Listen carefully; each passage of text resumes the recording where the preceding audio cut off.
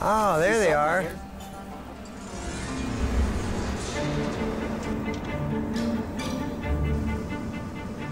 We're gonna get you hooked I, I up. want them out of there, you know. All right, I'm just gonna kind of take a quick look at it and see what's going on. Oh yeah, so they're definitely getting in. I can see them flying around all over the place up here. I don't like bees. Well, I don't want my grandkids or my kids to get stung because they round all the time, playing in the kitchen or going in the kitchen.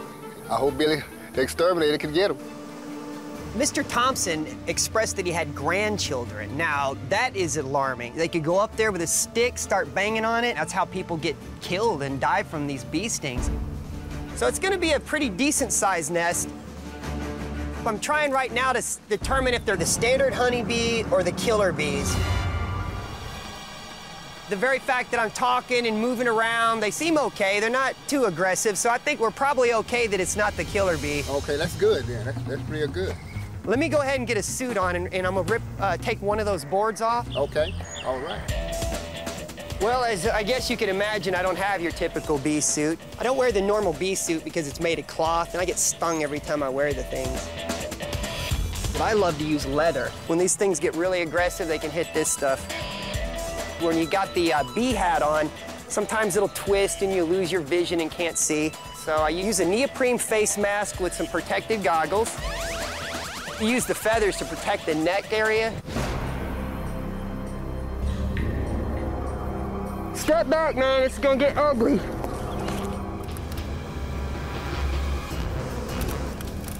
Not for me. I'm trying to keep him from getting too aggressive on me here. They're starting to come out. I'm gonna have to back up. They're all over me right now, stinging the crap out of everything. Getting too aggressive, so I'm gonna go ahead and uh, have to treat them and then open it up and see what's going on in there. I'm putting in a silica gel right now. It's used for drying out insects. Inside of the beef jerky is a little packet. This is silica aerogel. I use the silica gel because it's safe around humans and that fine powder does not mess with the human skin. What I'm doing here is reversing a shop vac and it makes a great little duster. I'm taking this stuff all crushed up and I'm gonna blow it into that hole like shredded glass. When they start flying, the shifting plates on their exoskeleton will start to trap the silica gel into these setchers, and that'll start pulling the uh, moisture out of the bees and they'll start dying pretty quick. It's gonna be a physical death, not a chemical death. All right, here I go. Hey, be careful, man. I'll be all right. All right, don't watch yourself now. I don't want you to get, get stung up too bad.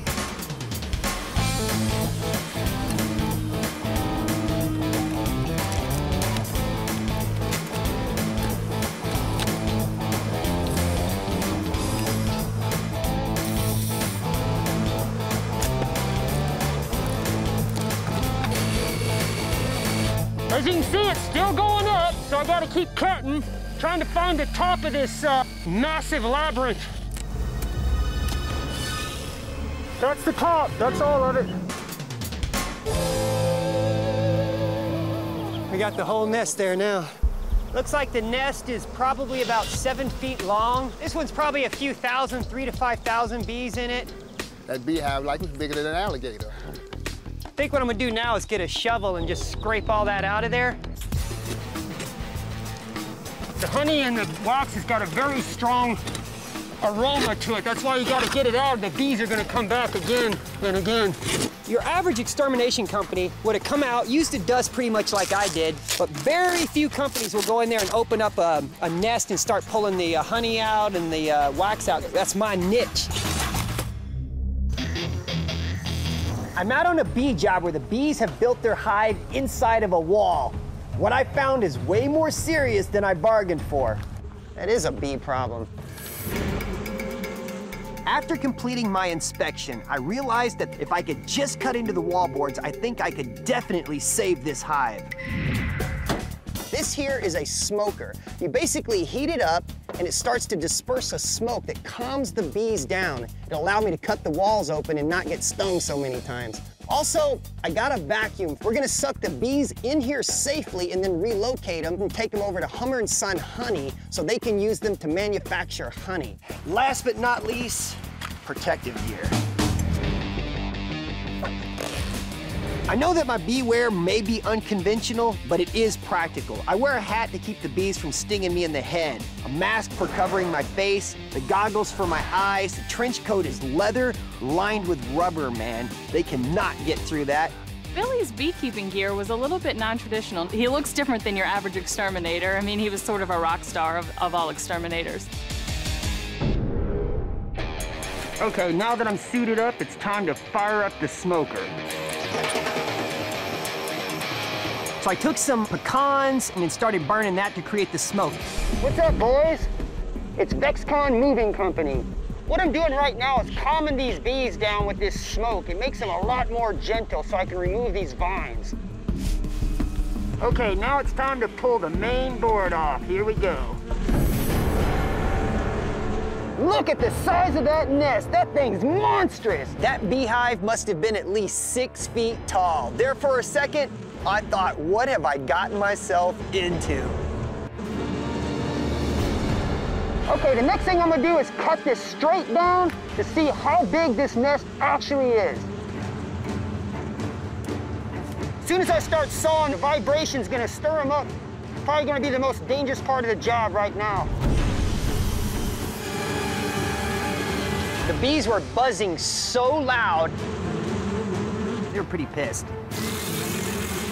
Oh, damn. Oh! Ow, I got hit! I was covered pretty well, except my eyes and nose had a little space there. Some honeybees got in there and stung me in my face. Damn it! Oh, damn! Damn.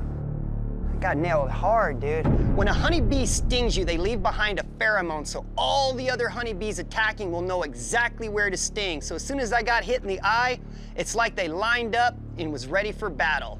I'm gonna be a mess tomorrow. My whole face is gonna swell up.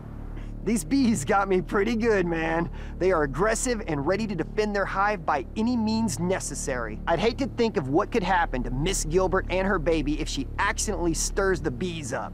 It's more important than ever that I get this hive out of here and get it out of here fast.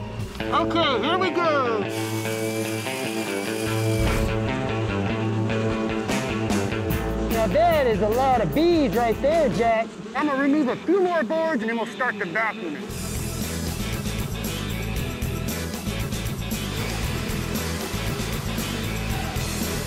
I'm using a specialized vacuum that won't hurt the bees. They're just gonna be sucked into a special bee box where they'll stay until they're transported and released into their new home at the honey farm.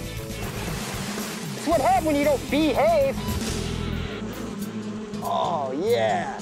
Next, I had to take these frames and put nine inch slivers of wax and honey from the hive into the frames. This is the bee's home. This is where they live. I've basically taken the home with them, sticking it right here in the bee box. Then we're gonna attach the lid on top right like this. Now I've got a few bees left over. They're out foraging around right now. They'll come back throughout the day, but their nest is gone. Bees won't form a new hive without the queen. So now that the colony's been removed, I'll wait a few days for the remaining bees to fly away and join some other beehive. Then I'll be back to close up the wall so that these bees do not reinfest the same spot. All in all, hey, I got these bees out of here and I didn't have to kill any. How about that?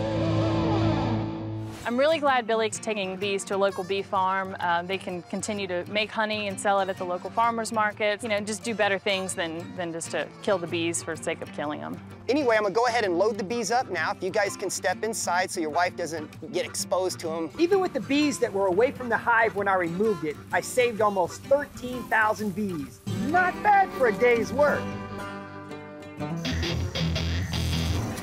Look, taking a sting from a bee isn't nearly as severe as wasp. Wasps can sting you over and over again. It's a nightmare. But bees, they'll sting you once and then they die. We called Vexcon specifically because we didn't want the bees to be harmed. There's plenty of places in this area that the bees can go. We just don't want them in our church. The bees are right there at the edge of the column. You can kind of see them flying around on the other side. They're buzzing all over.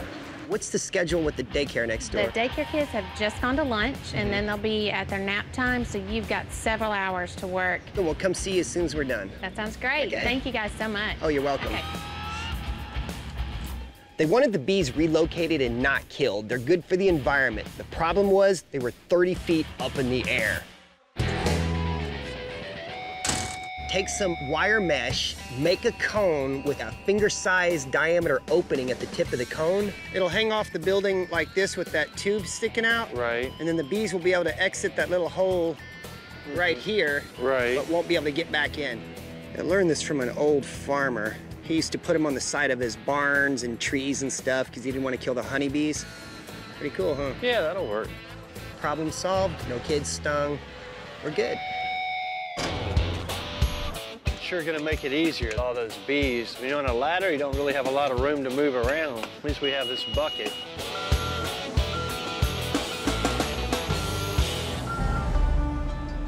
We're gonna have to drill some holes, put some anchors into the concrete, and then put our funnel over it, okay? We definitely got a gap on the back of this uh, pillar back here. You okay? Yeah. You get stung? No, you hit me right in the mouth, though. Oh. Anyway, we got about a two foot gap. Oh, right that time I did. Stung you? Yeah, it got me in the arm. Ah, son of a Let me get bitch. Ricky out of here. Ah, Yeah, go ahead and spray. Let me get us out of here. Hold on. Ricky pulled out a can of pyrethrin. He started spraying the bees and he kept them off of us until I could get us down. I didn't panic. I didn't start swatting at them. That's only gonna agitate the bees and make them mad. Sorry I had to get you out of there. That first one got you, left a pheromone, and the rest started coming, huh? Bees, they release a pheromone, and this pheromone tells all the other members to attack, and they will. They'll attack you until you die. yeah, it really hurt. That bee got me clean right there. It's already starting to swell up. There was only one solution. While Ricky got medicated, I put on the bee suit. I had some bees to boot out. Just hang out down here. If anybody walks out, tell them that we're doing some bee work and to leave the area. I'll have it covered from the ground. You know it's bad if Billy put on a bee suit. I hadn't seen him wear one in years. What's up, girls? Hello, anybody home? I'm gonna be doing some hammer drilling out front here. It's gonna get very noisy.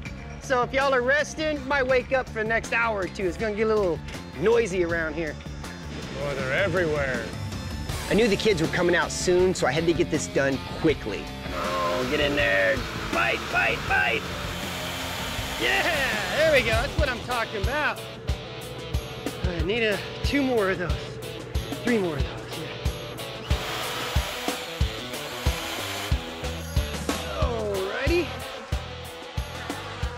Bees are already getting into it now, and they're already confused.